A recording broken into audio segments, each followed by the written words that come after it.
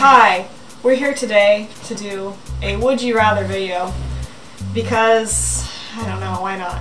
We did this like two, three years ago? Three years ago. A long time ago. Yeah. Well, if I can interject, Uh huh. it's like because we watched the same video that inspired the first one again. That we is watched, true. We watched the Dan Phil PJ one, and we were like, Yeah. "Hey, let's do another one of these." That was really fun. Yeah. So, this is a thing. We're gonna pretend this is in another universe because I don't want to get arrested for slander. So, you just got hired to work a music festival. I don't know what the name of the music festival is. I didn't think that hard about this. So, whatever you want to call it, that's what it is. There are three headliners, and you can choose to help any of the three headliners as their assistant for the day until they go on stage. Okay? So the three headliners are Coldplay, Ariana Grande, and Kanye West. So, there are some there are some issues though. Each one of these artists has something Anyway, each of these three artists has something terribly wrong with them. So Coldplay, fronted by the man Chris Martin, if that is his real name, uh, has an, a really bad problem with his body. Excuse me. anyway, if you are familiar with the hit song Yellow, that that lyric, it was all yellow, refers to his pee. He has this problem where he urinates constantly. It's like a steady stream of pee. Like, it's not just sometimes I piss myself. It's like, no, I am pissing all the time. So, as your assistant, you have to change his diapers that are always on. You need to change Chris Martin's diapers if you help Oh. Coldplay. Lord. Because that's just his body and he can't help it. He was born that way. He's never not peed. Nobody's really sure if it's actually pee. It's just a yellow stream of liquid constantly coming out of his body. So, that is what you must deal with if you are the assistant for Coldplay. Uh, and you have to deal with that until he walks off the stage, and then you are free to go your merry way, and he can go on his way, peeing himself constantly. Then we have Ariana Grande. You may be familiar with her hit "Dangerous Woman." She is actually a dangerous woman, and she has this thing where she like really wants to kill people really bad, and you have to like hold her back all the time. Like she will try to kill you. That's just her thing. Oh my god. So throughout the day, you have to like keep her chained up. You cannot you can't let her look people in the eye. You can't look her in the eye.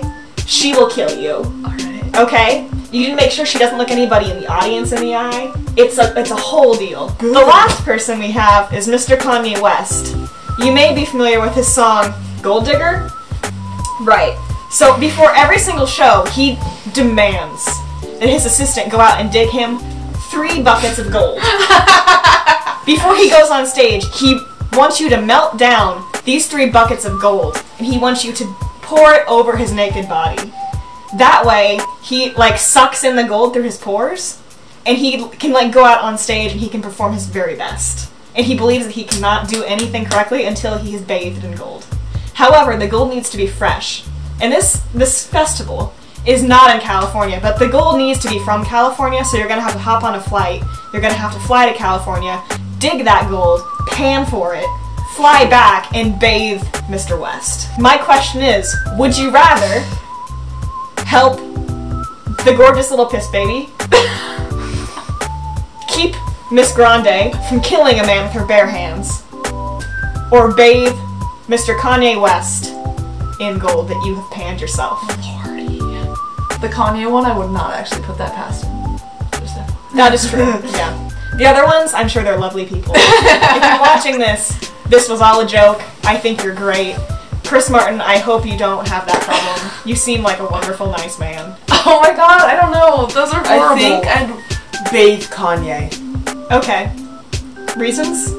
Um. Oh wait, where does the music festival take place? Cause, because I want to know It how long takes the place. flight would Let's let's say it's like Reading and Leeds, so it takes place in in England, in like. take. Oh jeez. Does he have to general fly? area. That's horrible. Yep.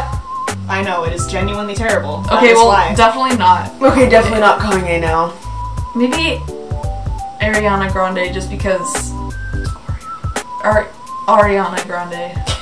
Not Ariana. But what is the difference? It's Ariana, not Ariana. I think Yeah, I, they're I not think I do. so- I think I do Ariana mm-hmm. because I don't know. She seems like the less grossest and like That's true. and like plus I really you don't have to get into her body yeah uh, like you do with the other ones. yeah.